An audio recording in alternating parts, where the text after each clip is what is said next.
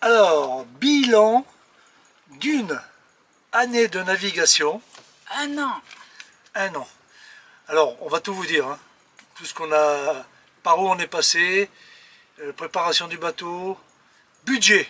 On va, on va Organisation. vous parler aussi du budget. Voilà. Donc, on a fait exactement 13 532 miles, c'est-à-dire 24, 24 357 km. 24 357 km. C'est beaucoup quand même. hein. C'est pas mal. Allez, c'est parti.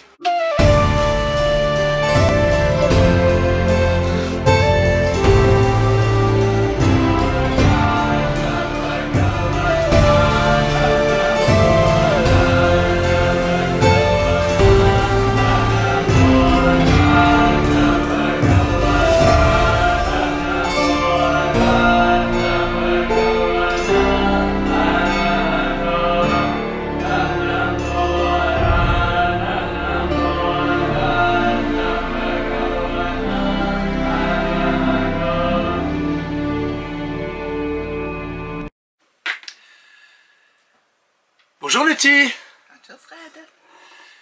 Bon ben voilà, aujourd'hui nous allons euh, vous parler de, du bilan d'un an de navigation. Un an de navigation déjà Nettie. Oui, on dirait pas. Hein? Ah ouais.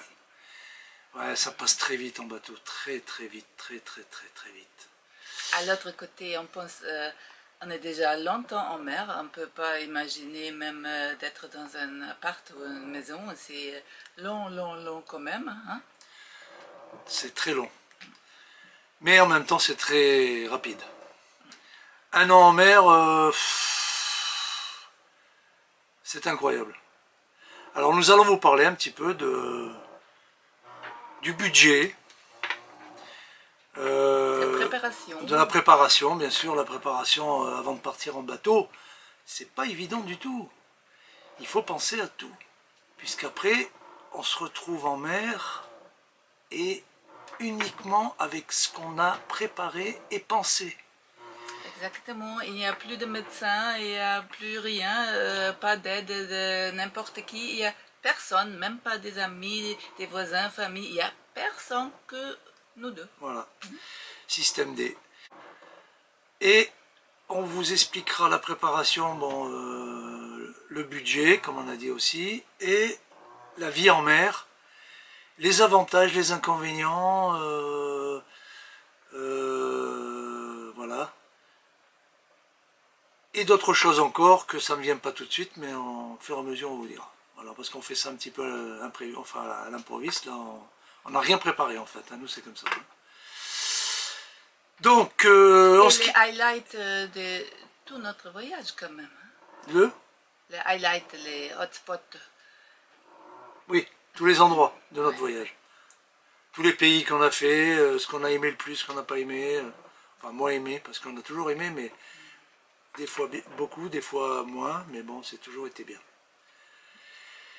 Donc avec Nettie, on s'est rencontrés en, En 2020, Alors avec Nettie, on s'est rencontrés en 2020, donc c'est pas, c'était récent. hein. Donc ensemble, on a, on a décidé de, de partir. Voilà. à cette époque-là, lui était euh, encore euh, euh, capitaine de yacht.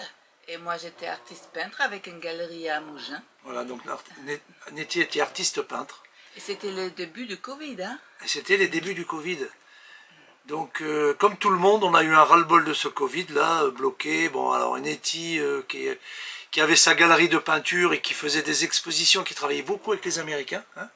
Oui, mais Voilà, donc en fait, je dis ça, c'est parce qu'avec le Covid, tout s'est stoppé, il y avait plus de, les, les gens ne venaient plus et ça a posé de gros problèmes. Donc euh, Nettie a été obligé de d'arrêter euh, sa galerie, comme euh, beaucoup de personnes euh, qui euh, étaient dans le même cas pour euh, différentes euh, professions.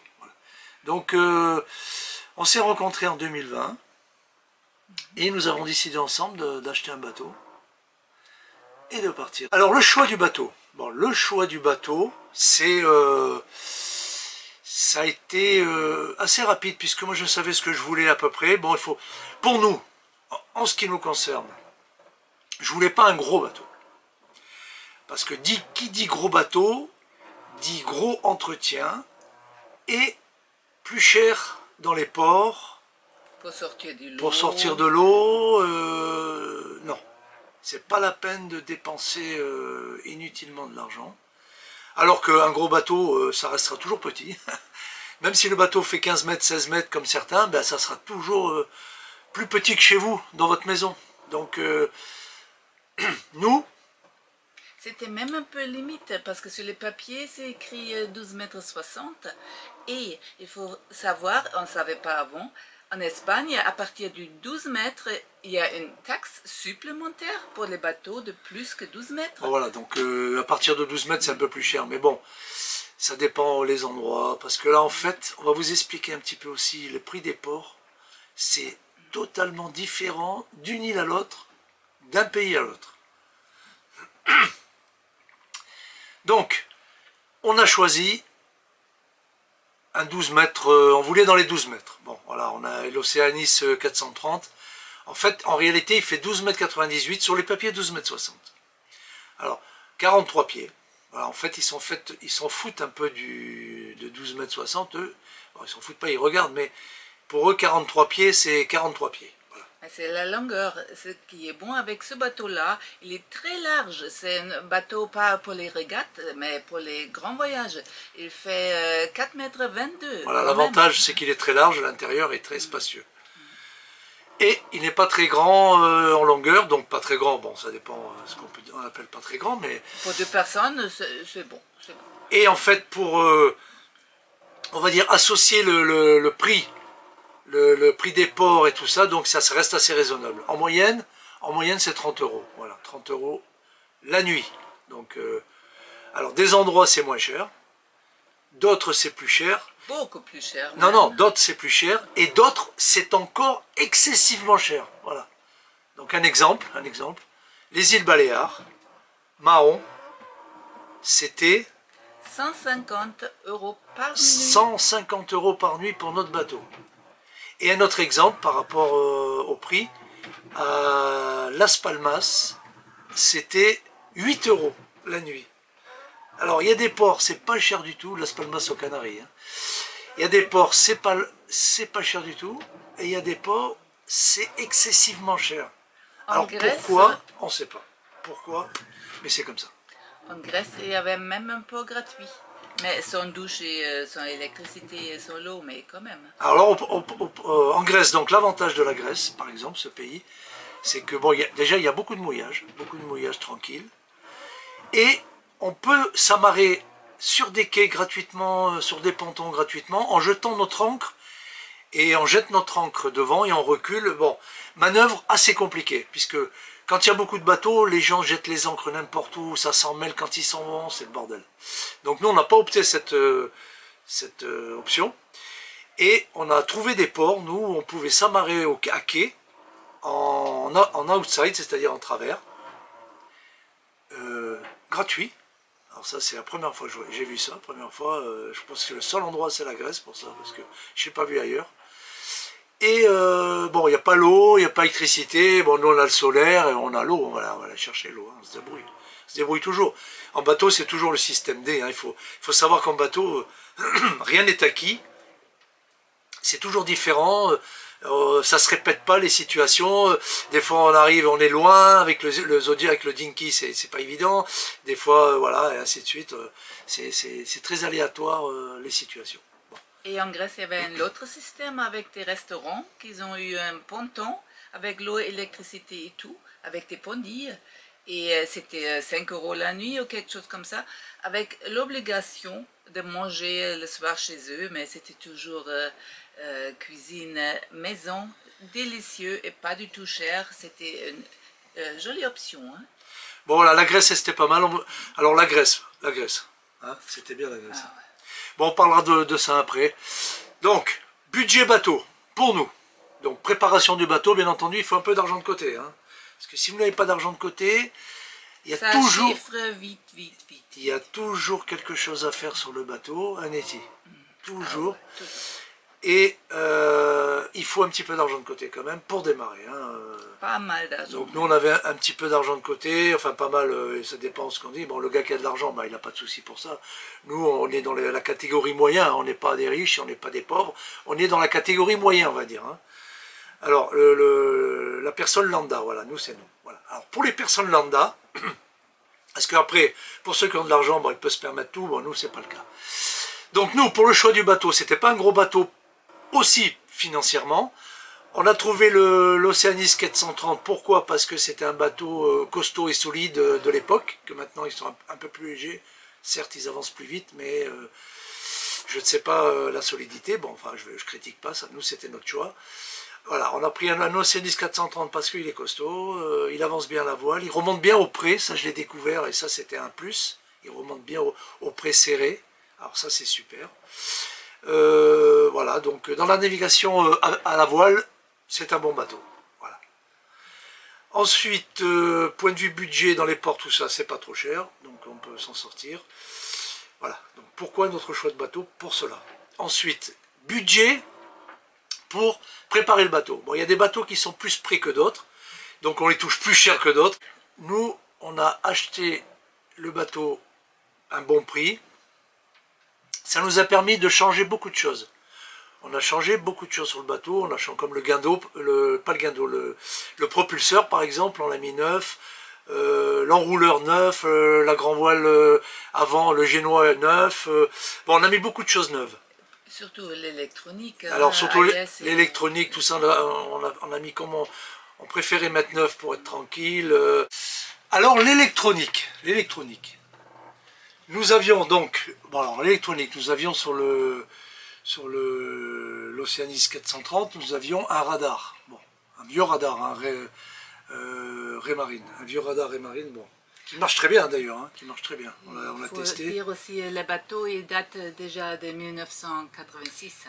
Ah, le bateau est de 1986. Bon, euh, voilà. Donc euh, c'est normal que il faut changer quelques trucs dessus. Bon, alors donc j'avais un Navtex. Navtex, je l'ai Bon, Navtex, euh, c'est la météo par code, mais c'est compliqué quand on sait pas. Mais bon, je, je l'ai laissé. euh, on sait jamais.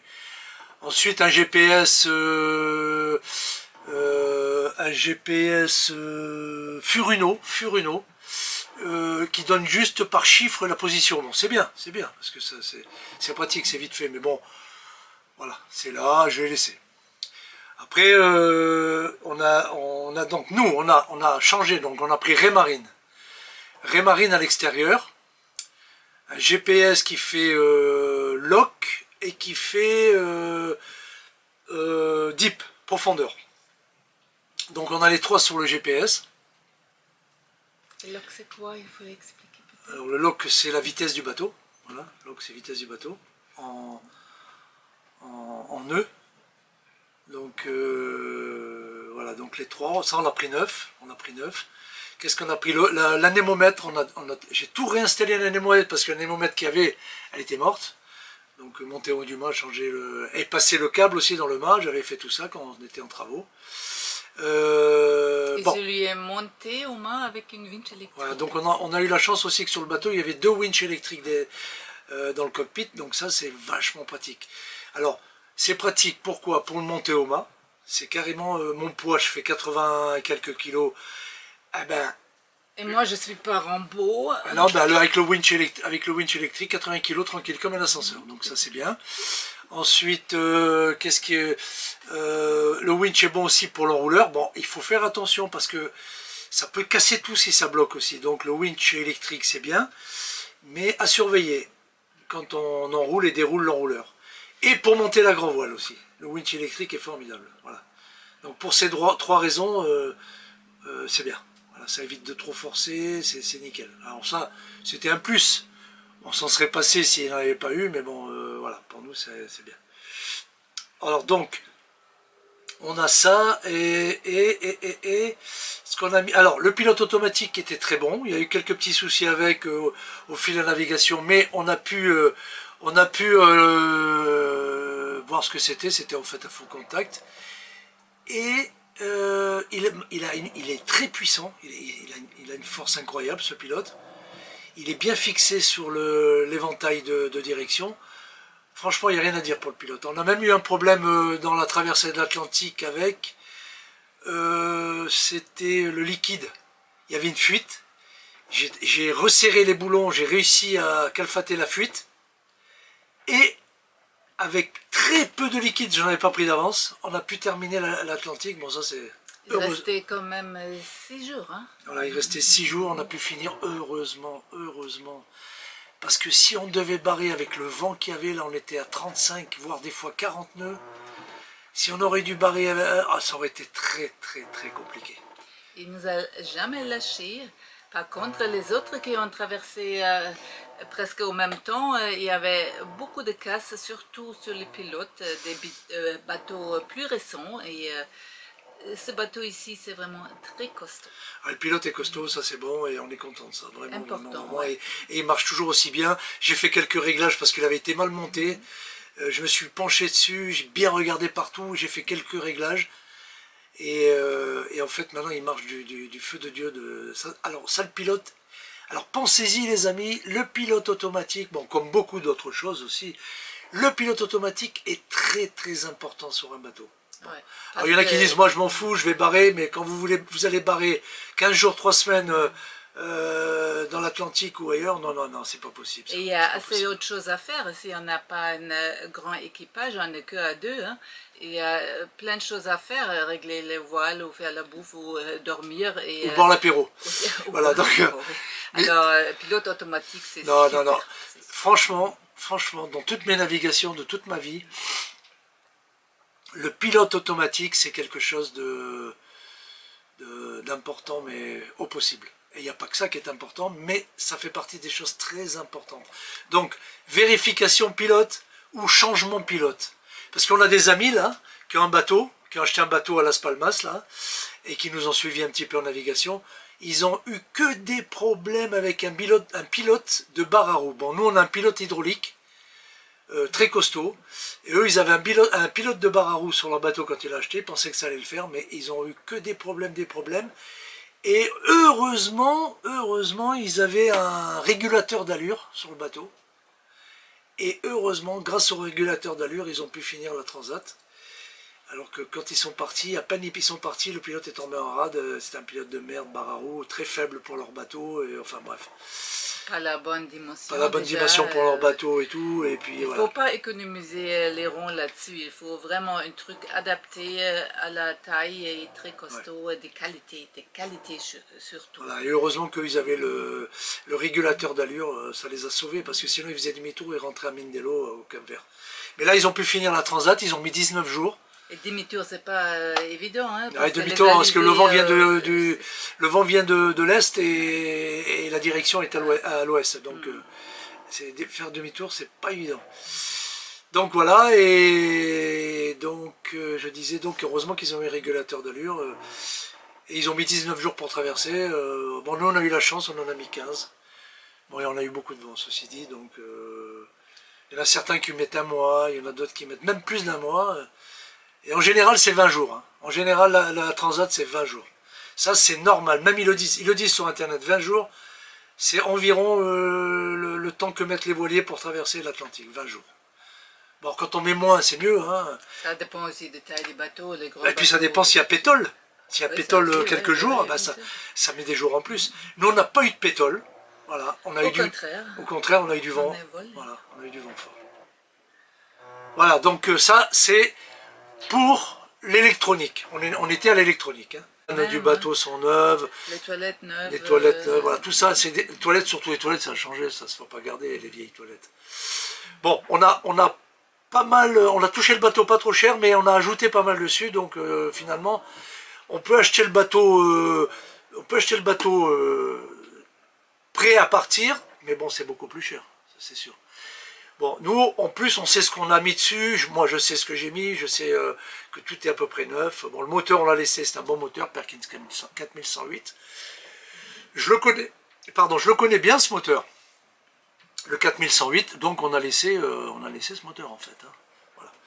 Donc, préparation du bateau. euh, voilà. Donc, on a changé beaucoup de choses. Bon. On a bien ré- révisé le moteur et changé quelques trucs là. hein. Voilà, on a bien révisé le moteur. et, Ça, c'est important quand même. Après, embarquer un bon outillage sur le bateau. N'oubliez pas d'embarquer un bon outillage. Voilà, un bon outillage, c'est important pour bricoler, pour euh, quand on est seul au monde et qu'on a des pannes, euh, voilà, au moins on a un bon outillage. Voilà. Puis un bon, des bons panneaux solaires avec des batteries euh, qui tiennent la route. Oui, on a ajouté les portiques déjà. Voilà, donc nous on a ajouté le portique, panneaux solaires. Et c'est important les panneaux solaires avec un bon convertisseur. hein. Nous, on- on a un 2000 watts Victron. Alors pour pas que les batteries chauffent, j'ai percé, voilà, voyez, j'ai percé une centaine de trous. Parce qu'il est important, et ça je l'ai appris après, que les batteries, euh, l'air, euh, qu'elles ne chauffent pas trop quoi. Il faut que l'air circule euh, pour pas que les batteries chauffent. Voilà, donc j'ai fait une centaine de trous sur le, la plaque du coffre à batterie, et puis voilà. Et donc voilà mes quatre batteries toutes neuves là qui ont été changées récemment. Voilà, donc c'est impeccable, quatre batteries neuves. Il faut du bon matériel pour le panneau solaire. Et des panneaux neufs et des panneaux que les nouveaux panneaux ils sont même le soleil en biais ça charge hein. donc euh, quand le soleil se couche il charge encore jusqu'à la dernière minute. Donc euh, il faut des bons panneaux. Les, panneaux de maintenant ils sont très bons. Donc nous on a 450 watts hein, je l'avais déjà dit dans des épisodes euh, passés. 450 watts de panneaux et on a 4 batteries de 110 watts. Nos batteries viennent d'être changées on les a toutes neuves on les avait commandées Ensuite, euh, euh, prévoyez euh, les outils, comme j'ai dit, pour pouvoir travailler avec le convertisseur en 220, pour, euh, tous les outils qu'il faut, perceuse, disqueuse, enfin, toute la panoplie du bon bricoleur. Alors ensuite, bricoler l'électricité, bien sûr. Donc, bricoler l'électricité, donc moi, c'est pas trop ma tasse de thé, l'électricité. Donc, bon, bon, comme je bricole, La mienne non plus. hein. Ouais, voilà, la NOT non plus. Donc comme je bricole, comme je bricole, et euh, je suis acharné des fois, et, et je et je, je trouve les, je trouve toujours parce que je suis, parce que je suis comme ça en fait, j'abandonne pas. Et au début, au début, on a embauché un électricien qui nous a, qui nous a fait pas mal de trucs, mais euh, ça suffisait pas. Donc par la suite, on a eu quelques problèmes. Donc je me suis penché dessus, Euh, tableau de bord, tout ça, j'ai changé beaucoup de, de, de, sucre, le- les petites cosses et tout, j'ai changé beaucoup de choses. Et, euh, et maintenant, bon, alors, pourquoi je dis ça? L'électricité à vérifier, à vérifier, à vérifier, à vérifier. Euh, indispensable, indispensable, indispensable aussi, parce que ceux qui s'y connaissent, c'est pas grave, mais ceux qui s'y connaissent pas trop, oh là là là là là là, intérêt de s'y mettre et d'apprendre. Alors après, en partant en bateau, donc nous, notre budget de bateau, on a dit on va essayer, on va essayer à 800 euros par mois. C'est-à-dire l'alimentation et les frais de gasoil. Voilà. Après, le reste, les réparations et tout, c'est de l'argent de côté quand on Et part. les hein. ports, les ports. Et les ports, voilà. Les ports, ça peut être. euh, Alors, les- un impact. euh, Bah Alors les ports, euh, si c'est trop longtemps dans les ports, euh, ça compte plus dans le budget des 800 euros, hein, ça c'est sûr. Bon. On espère faire du mouillage, donc prévoyez un gain d'eau qui fonctionne bien, euh, d'encre, euh, une bonne chaîne et deux encres si possible. Nous on en a perdu un, il faut que je reprenne un d'ailleurs. hein. Donc voilà. Donc budget pour nous, c'est 800 euros par mois et on est parti avec ça. C'est-à-dire mo- euh, 800 euros, c'est l'alimentation, comme j'ai dit, et le gasoil et les ports si c'est une fois de temps en temps. Mais si c'est trop long, les ports, euh, c'est plus dans les 800 euros, ça c'est sûr. Et il y a les endroits où il n'y a pas beaucoup de mouillage sûr, hein, comme Voilà. aux Canaries, euh, il faut Ah, prévoir. Par, exemple, Canaries, euh, pas beaucoup de mouillage, ça c'est sûr. faut donc, se renseigner euh, bien avant. Canaries, c'était pas évident, donc on a fait beaucoup de ports. Bon, ça, ça nous a un peu bouffé le budget. Donc on s'est rendu compte que après, bon, là, au fil, au fil de- du, bon, nous on, on sort un peu au resto de temps en temps, on aime bien les restaurants, Les bars. on aime bien aller au bar boire, boire une petite bière. Bon, ça c'est normal, hein, c'est partie de la vie. On peut pas se restreindre là-dessus, c'est le plaisir. On part pour un plaisir aussi, on part pas pour euh, se restreindre tout le temps. Et on pêche pas encore trop. Et nous, on n'est pas trop pêcheurs, parce que moi, aller tuer les poissons, tout ça, c'est pas trop mon truc. J'ai essayé une fois, j'ai pêché, un poisson, on l'a mangé, c'était bon, mais de le tuer, ça m'a un peu... Non, c'est pas, pas- c'est pas bon. C'est pas bon de tuer des, des, des- des animaux vivants, tout ça. Non, non, non, c'est pas... Moi, j'aime pas trop ça. Mais si on n'est pas végétarien, il faut faire un choix. Voilà. Ce- ceci dit, ceci dit, si on n'a pas le choix un jour, je le ferai. hein. Et je serais même capable de tuer un éléphant hein, pour manger. Mais bon, pour l'instant, on n'en est pas là. Alors, budget. Donc, au début, 800 euros. C'était un peu juste, hein, Nettie? C'était un peu juste. Donc, euh, bon. On a rajouté 200 euros. On s'est dit 1000 euros. Et 1000 euros en, allant euh, temps en, une fois ou deux par semaine au resto, et euh, dans les restos pas chers bien sûr, et, et boire une bière, impression quelques fois dans la semaine, ouais, voilà, c'était mieux. Donc, donc pour nous, en partant autour du monde, je dis, hein, quand on part euh, dans tous les pays, tour du monde, bon, il y a, y a, des pays euh, pas chers, il y a des pays plus chers. Euh, la Grèce, moi j'étais allé il y a 10 ans avant, c'était pas cher du tout. Maintenant la Grèce, ils ont compris hein, que tout le monde, tout le monde part en Grèce, donc maintenant la Grèce a augmenté de 5 fois le prix parce qu'ils ont été en crise et bon, voilà. Donc ils ont toujours, on a trouvé aussi des tavernes où ils mangent les habitants là-bas et euh, ça c'est pas cher du tout et euh, une bonne qualité quand même. Ouais, bien entendu, on a trouvé des choses, des, des, tavernes pas chères. Mais il faut le chercher, pas toujours première ligne là. Nous on est pour tourner, euh, aller, on, on, va pas dans les, le bord de mer, les restaurants touristiques, tout ça. Nous on va dans l'intérieur et on cherche là où les gens du pays qui vivent là-bas tout le temps, toute leur vie, vont manger. Donc nous on cherche des endroits où les, les gens mangent et la cuisine authentique. La cuisine authentique. Donc la Grèce, pour ça, c'était bien.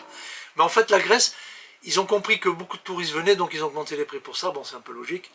Mais il, y a comme, il reste quand même beaucoup de choses gratuites en Grèce. les ports, euh, entre autres, euh, on peut s'amarrer gratuitement. et euh, tu t'appelles des apéros, tu prends une bière normale et, tu te sers un plat déjà par contre, c'est gratuit, là, c'est normal. Jusqu'à présent, jusqu'à présent, les seuls qui vraiment savent y faire avec les touristes, vraiment bien, c'est les Grecs. Pour l'instant, on n'a pas tout fait encore dans le monde, on n'est pas fini.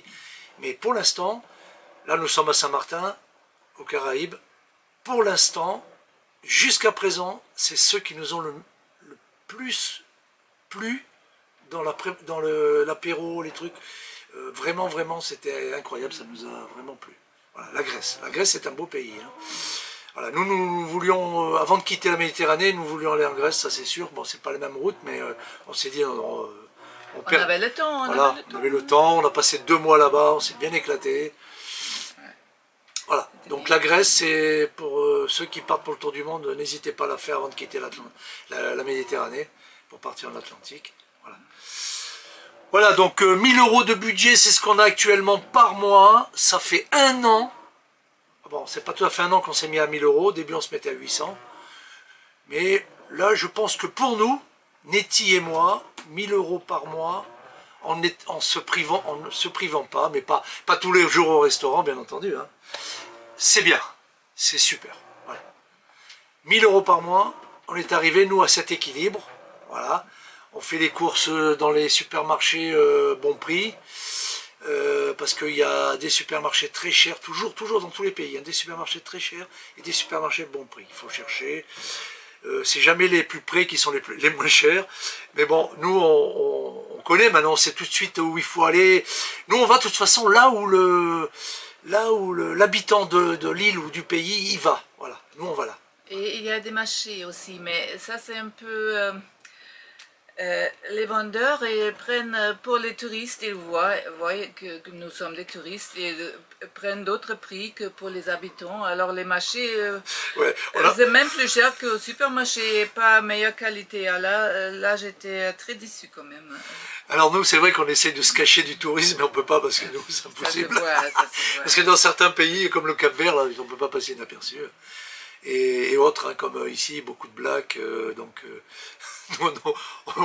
bon, on le voit. Il, le voit, hein, sans problème. Donc nous, on essaye des fois de le cacher, mais bon, on ne peut pas le cacher. Donc euh, voilà, donc on, essaye, on essaye, on n'achète pas tout de suite au premier endroit, on tourne, on balade, on cherche, et c'est vrai qu'on arrive à trouver des, bons trucs. Euh. Et puis euh, sur, sur les sites de navigation où tout le monde passe, exemple Navili. Navili, nous on travaille beaucoup avec Navili parce que les gens euh, disent euh, pas mal de choses euh, intéressantes qui peuvent aider le, navigateur qui arrive dans l'endroit pour la première fois. Donc, Déjà, où laisser les poubelles, c'est pas évident. Pour les poubelles, pour les réparations, pour les réparations des voiles, des moteurs, tout ça, ils disent tout de suite qu'il faut appeler, ils laissent même le numéro de téléphone. Les bonnes adresses. euh, Pour manger, pour euh, les courses, pour... euh, ils disent, ouais, là c'est cher, là c'est pas cher. Bon, Navili, Navili, si, quand, vous, quand vous partirez autour du monde, pour ceux qui sont prêts à partir, euh, le, Même plus court. mais Navili, il faut l'avoir, hein, ouais, c'est, ouais, c'est- Des bons conseils pour des mécanos parce qu'on ne sait pas euh, qui euh, a le savoir-faire. Oui, oui, même, pour les navigations côtières. hein. c'est ouais, une bonne application. Ensuite, bon, faites, faites du mouillage, hein, du mouillage au maximum. Et elle est gratuite cette application en plus. hein. Ouais. Faites du mouillage, mouillage maximum. Ça, c'est pour l'économie. Et puis, euh, c'est bien le mouillage, on est tranquille.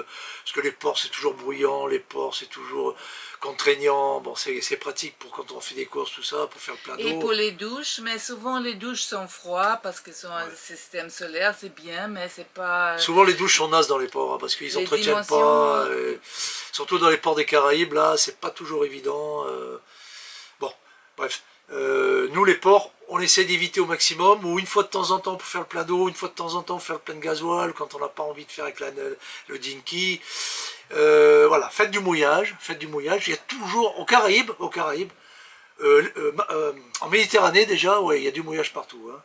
Et pour les porcs aussi, hein, il y a souvent des rats et des cafards qui viennent euh, avec les bouts là. Alors ça, Ah au voyage, on n'a pas du tout. Alors on a vu des choses. euh, Ouais, ben, vous- Nous, on est en voyage souvent, mais on a eu hein. quand même un problème, nous. hein.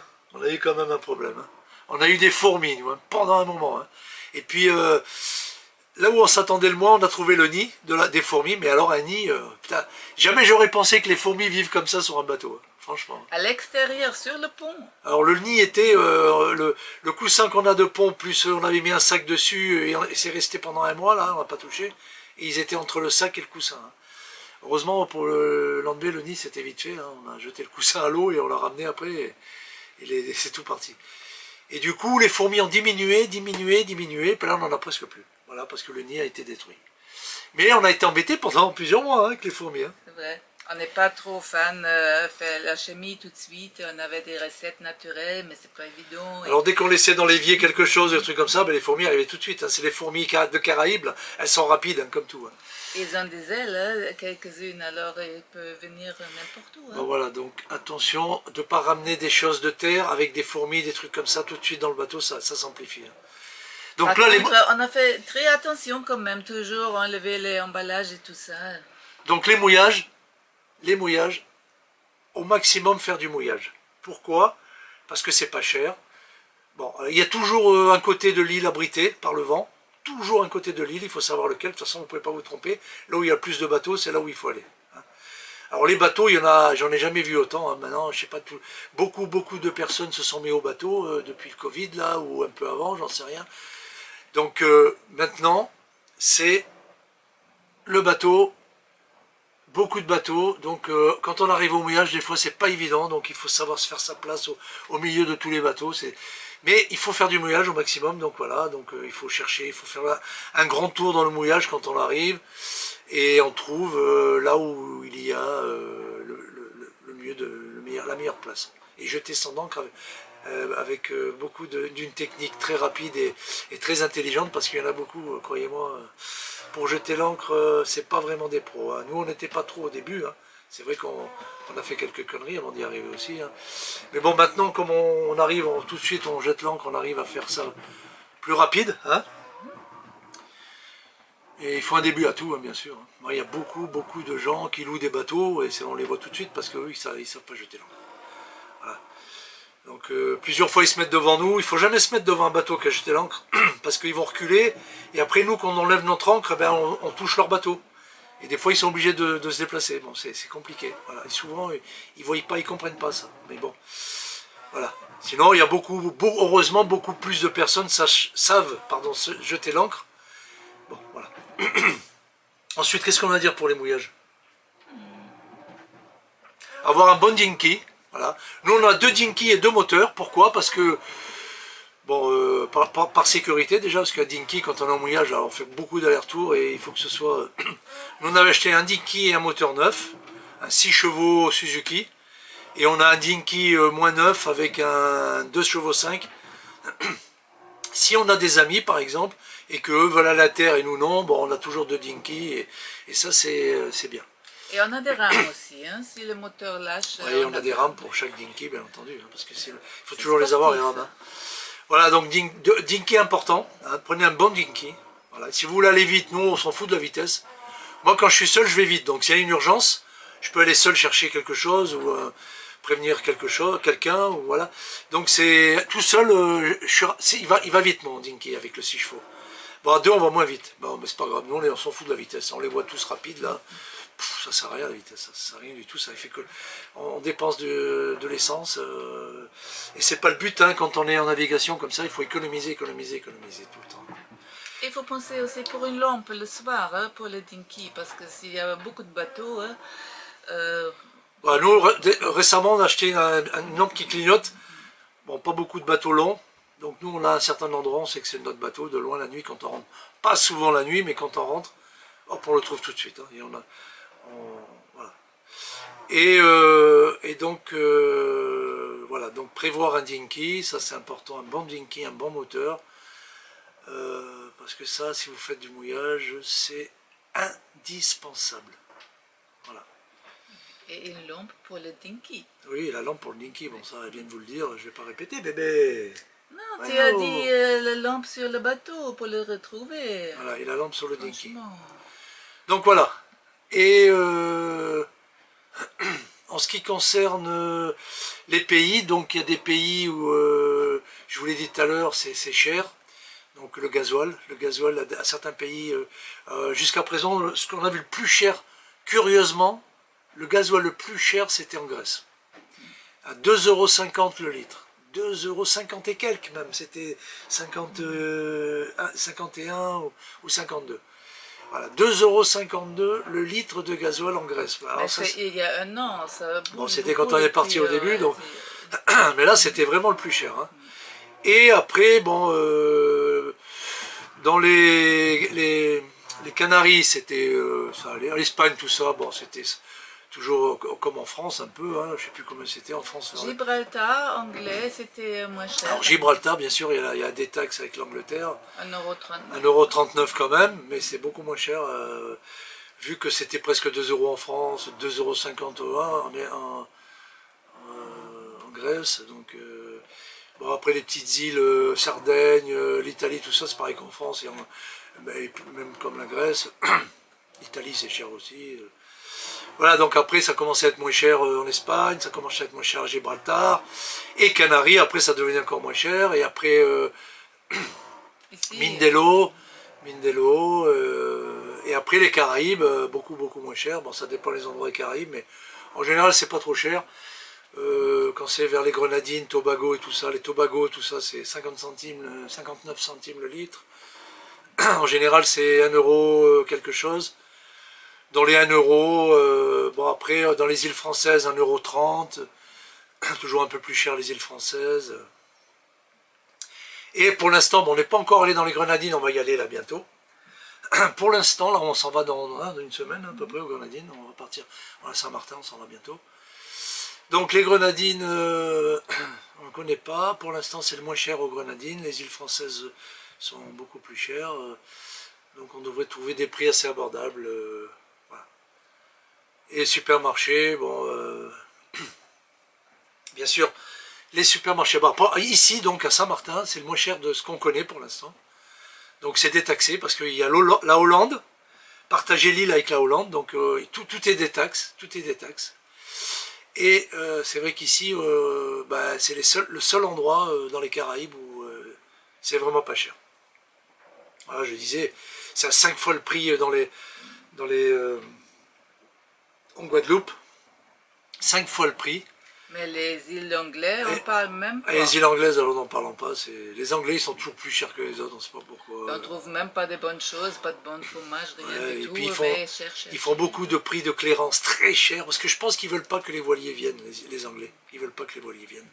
Donc ils font déjà euh, une taxe de clairance qui est exorbitante tout le temps. Euh, euh, des taxes de ci, des taxes de là. Ah, euh, voilà, donc euh, ça me rappelait quand j'étais à Singapour, il n'y a que les gens de Singapour qui vivent à Singapour qui peuvent payer les choses à Singapour. C'était horriblement cher Singapour. Et euh, ceux, qui, ceux travaillent à Singapour, bon, bien sûr, c'est moins cher. C'est comme les gens qui vivent à Paris, qui travaillent à Paris, ben, c'est moins cher. Et ceux qui arrivent d'ailleurs où c'est pas cher, ben, ils trouvent Paris cher. Ben oui, parce que c'est comme ça. Et ben voilà, c'est à peu près le même style. Ceux qui vivent sur les îles et qui travaillent, ben pour eux c'est pas cher, mais pour ceux qui arrivent, comme nous on arrive de Saint-Martin par exemple, et qu'on a, on va dans une île qui est à côté, qui s'appelle Anguilla, eh ben, c'est 5 fois, 6 fois le prix euh, d'ici. Voilà, et c'est en face.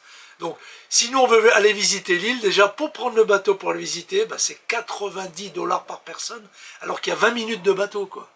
Alors. Euh, et si on va envoyer, il y a des frais à l'entrée. Bien sûr, ils ont tout prévu. Et si on va envoyer, ben voilà, ils font payer taxes de clairance exorbitantes. Ben voilà, tout, impossible. Alors, euh, finalement, ben, on n'a pas été en Anguilla pour visiter Anguilla, et c'est ce que et je pense c'est ce qu'ils veulent. Ils veulent pas de voiliers, ils veulent pas de gens qui viennent les embêter. Voilà, ils veulent pas. Donc ils font ça très cher. Que t'es riche. Voilà, que ceux qui ont de l'argent, ben, c'est pas notre cas. Donc voilà, donc nous ben, on, se dit ben, Anguilla, on s'en fout. Il y a d'autres îles euh, qui sont euh, aussi belles. Alors on ne sait pas si Anguilla c'est vraiment beau, mais bon, on sait pas. Semble-t-il quand même. Hein. Alors pour le reste, nous sommes restés euh, six mois, hein, c'est ça? Mhm. Après avoir acheté le bateau, nous sommes restés six mois à, hier, sur le carénage de hier. Et nous sommes partis donc de hier pour le tour du monde euh, le 16 mai 2022. Voilà, le 16 mai 2022. Alors l'état d'esprit, l'état d'esprit euh, qu'on avait à ce moment-là, ce que je peux me souvenir, hein Nettie?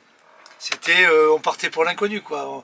C'était bizarre, cette journée-là, c'était la première journée où il y avait du brouillard. Alors il y avait du brouillard. Mais... C'était mystique. Alors, pendant six mois qu'on était à, à, hier, plus que ça, ça fait huit mois parce qu'au début, on était à hier, jamais on a vu du brouillard. Et là, le jour où on part, le 16 mai 2022, le brouillard a coupé au couteau.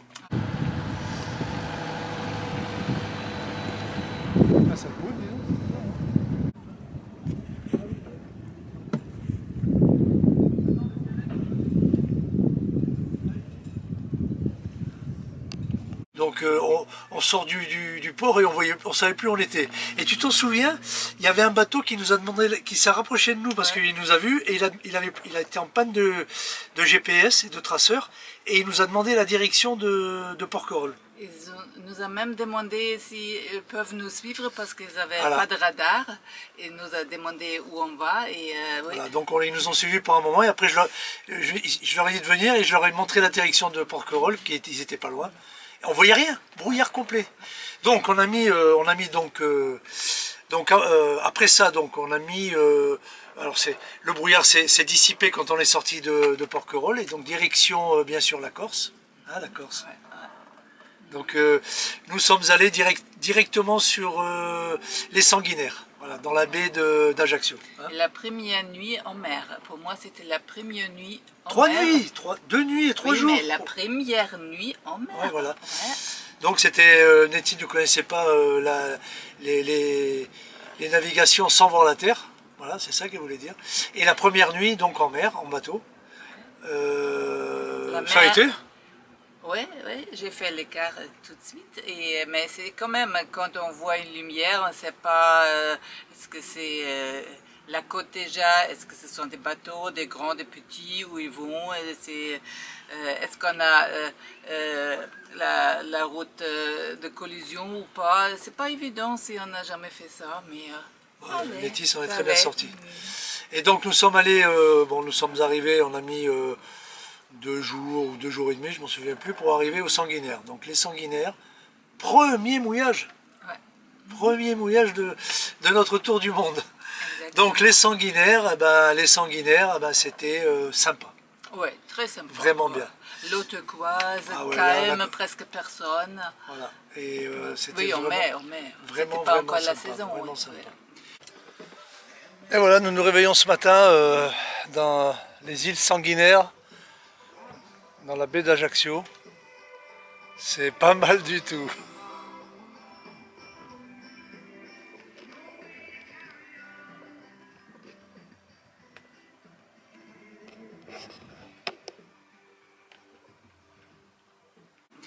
Nous sommes restés quelques jours, on a fait deux, ou trois mouillages, je ne me rappelle plus, dans, le sud de la Corse. Et après, donc, nous sommes partis, euh, donc, nous sommes partis en Sardaigne, bien sûr. Sardaigne, euh, au sud, juste en face du sud de la Corse. Et là, il nous arrivait un truc, tu t'en souviens, euh, le vent venait de, de l'est, et on n'a pas pu, euh, on n'a pas pu se diriger vers l'est, donc, pour euh, passer, nous on voulait passer à l'est C'est la meilleure côte quand même pour visiter. mais- nous voulions passer à l'est de la, de la Sardaigne. Finalement, j'ai changé, j'ai changé le cap et nous avons continué sur le- l'ouest de la Sardaigne. Voilà, donc euh, on, a descendu la côte de la Sardaigne, c'était pas mal aussi. hein. Oui, c'est On s'est arrêté deux ou trois fois, on s'est arrêté au sud. Voilà, euh, voilà la, la La Sardaigne. dernière fois euh, devant une île euh, privée.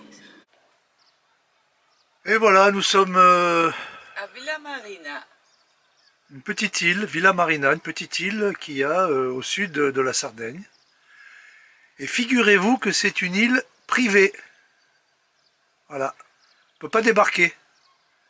Bon, en même temps, on s'en fout. En même temps, on s'en fout. Pas débarquer. Donc, nous allons aller dans un autre mouillage euh, ce matin. Et nous allons euh, essayer de débarquer. On n'a pas pu débarquer une belle, une jolie île, mais on ne pouvait pas débarquer, c'était une île privée. Mais il y avait des dauphins. Voilà, c'était vers. San- Santa, l'île de Euh, Saint-Pierre ou euh, San- San Pedro. San Pedro, voilà, vers l'île de San Pedro. Ensuite, direction euh, donc le détroit de Messine.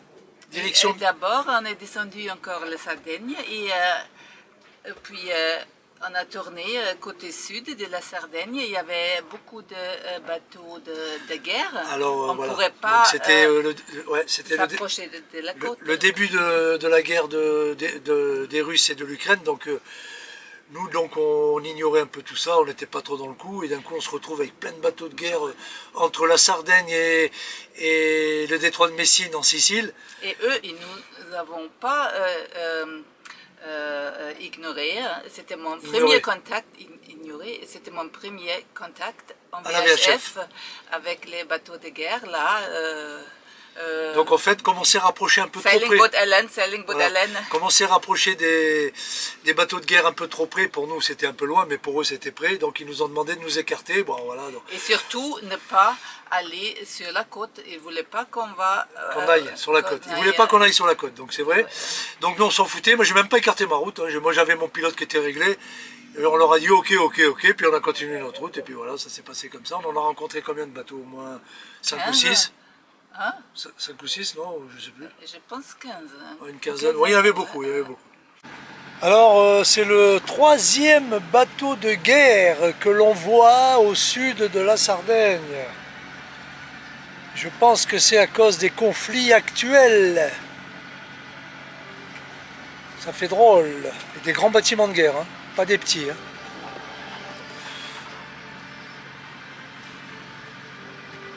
Eh ouais, c'est peut-être le début d'une guerre. En fait, c'est pas trois bateaux de guerre, c'est cinq bateaux de guerre au sud de la Sardaigne.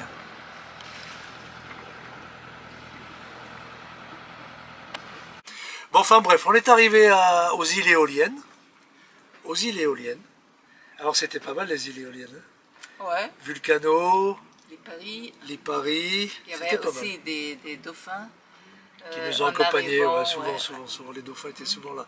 Les tortues aussi, on a vu beaucoup de tortues. On a très mal dormi cette nuit parce que beaucoup de houle dans le mouillage de, de Vulcano. Et puis l'odeur de volcan, là, de fumée qui sort de partout, euh, nauséabonde, mais horrible, horrible. Donc euh, nous nous sommes, euh, nous, sommes venus dans la marina euh, qui se trouve, la marina Éole Mar, qui se trouve sur l'île de Lipari. Voilà.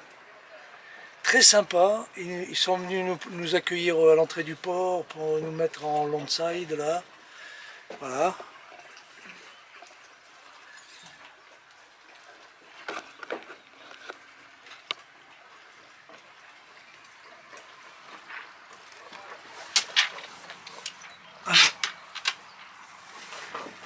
L'air d'avoir une vieille ville là-bas, super sympa à visiter.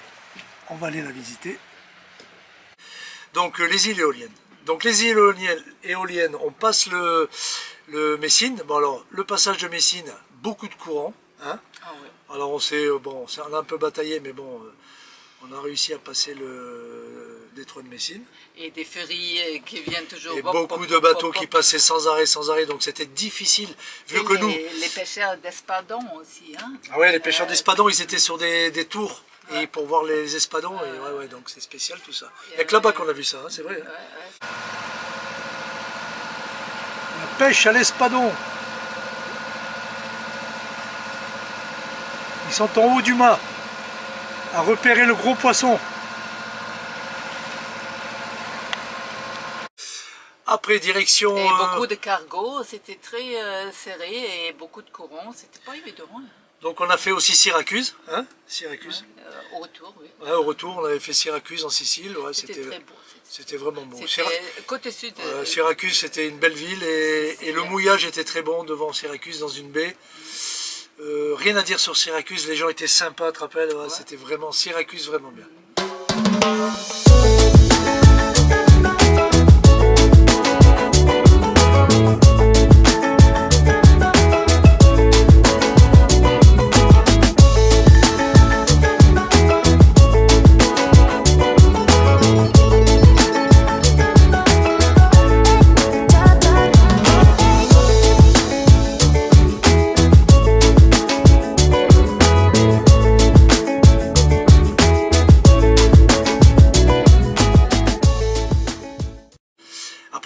En Grèce. Alors en Grèce, les îles Oniennes, pas éoliennes, Oniennes, les îles grecques. Il y avait Paxos, Antipaxos, euh, il y en avait d'autres. hein. ouais, Alors ça, c'était- on Ouais, c'était paradisiaque, paradisiaque. Bon, beaucoup de monde, mais paradisiaque. On nous a dit que quand on fait un tour du monde en voilier, il ne faut jamais commencer par la Grèce. Pourquoi? Parce qu'on risque d'y rester.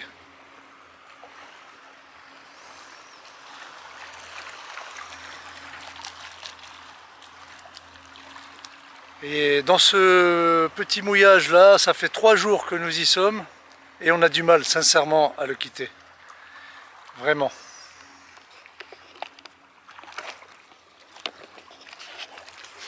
Hein Annette qu'on a du mal à quitter ce mouillage Mais ouais, c'est trop beau ici. L'eau turquoise. Ah, bien fraîche. Pas trop quand même. C'est trop bon. Trop bon. Paradisiaque, regarde-moi ça. Eh oui. Mais il va falloir qu'on parte Mais oui, à un moment donné. le monde nous attend. Le monde nous attend. Ouais. Youhou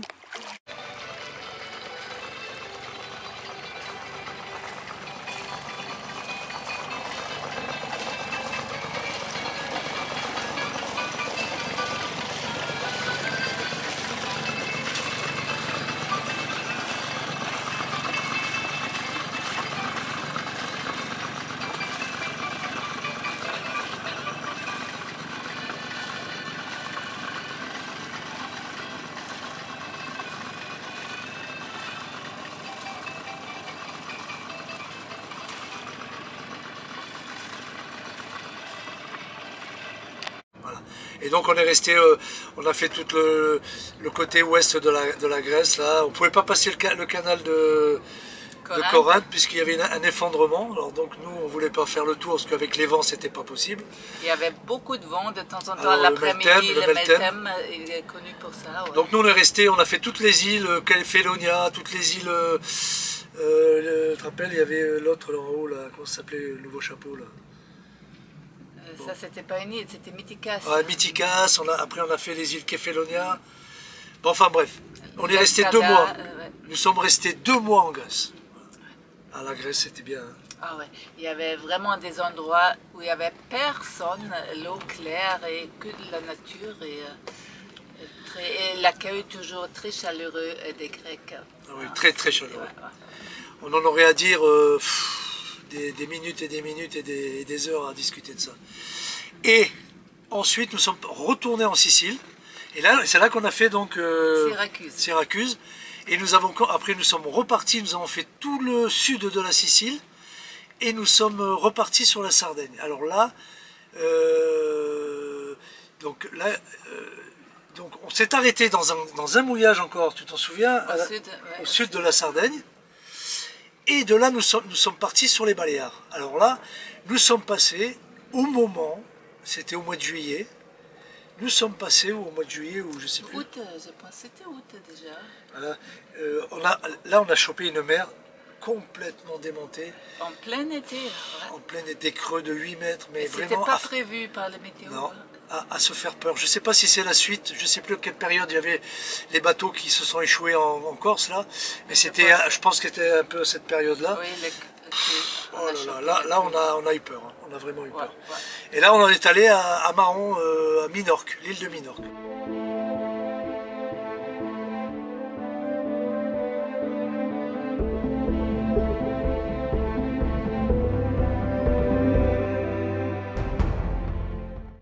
Fait l'île de Minorque.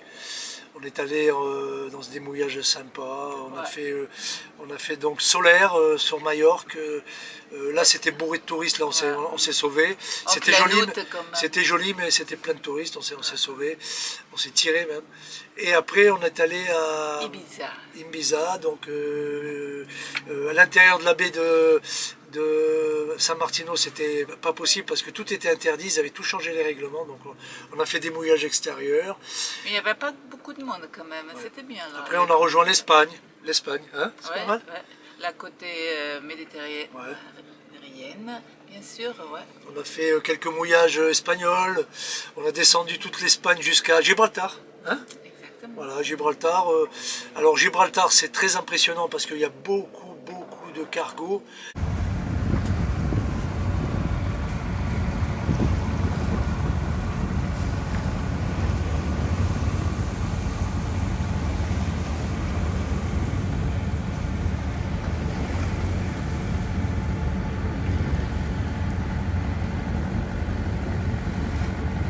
Partis après direction les Canaries, bien sûr.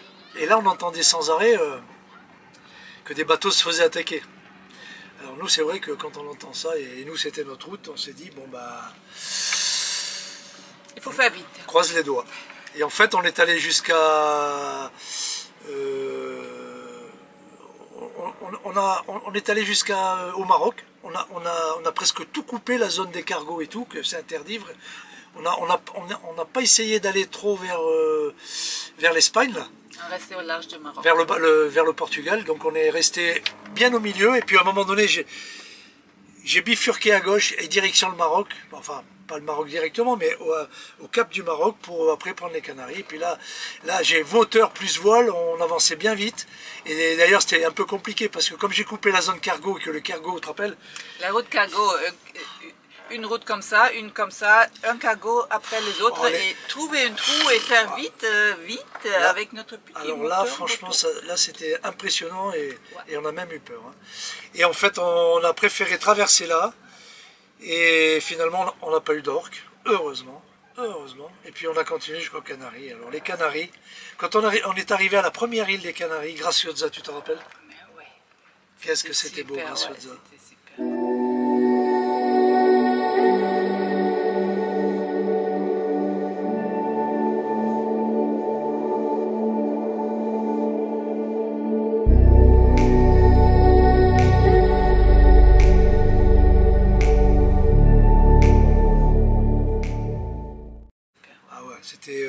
Super beau mouillage, l'île quand même pas trop touristique. euh, Bon, une chose que j'ai plage, oublié quand même, tu t'en souviens quand on est passé entre l'Espagne et, et les Canaries, donc on est passé là où mon premier bateau avait coulé, là, Ah ouais. là ça a été quand même très émouvant pour nous, vrai. parce que je me suis rappelé beaucoup de choses. Et euh, bon après bon voilà, c'était comme ça, c'est la vie. hein. Et donc on est arrivé à Graciosa, magnifique. On est resté longtemps, hein, Graciosa, trois semaines je crois. hein. Oui, Ah, c'était tellement bien, une petite ouais, île, bon un peu, de- il n'y avait pas tout, hein, mais on a visité les volcans, le volcan. c'était pas mal. La nature magnifique et calme, calme. Il y avait que quelques Espagnols. euh, en Voilà, vacances. dans l'ensemble, les Canaries, bon, à part qu'il n'y avait pas trop de mouillage, c'était compliqué, ça bougeait beaucoup, beaucoup de roulis. Il y avait quelques mouillages, mais très rares. euh, donc on a fait beaucoup de ports, donc c'est un peu cher. euh, voilà, les ports étaient bon. Heureusement, il y a des ports pas chers aux Canaries, mais il y a d'autres qui étaient quand même euh, plus chers. Donc les Canaries, c'était pas mal aussi. hein. Ah oui. On a fait, les- on a fait euh, quatre îles des Canaries. Il y en a plusieurs, il y en a sept, je crois. Nous, on en a fait quatre.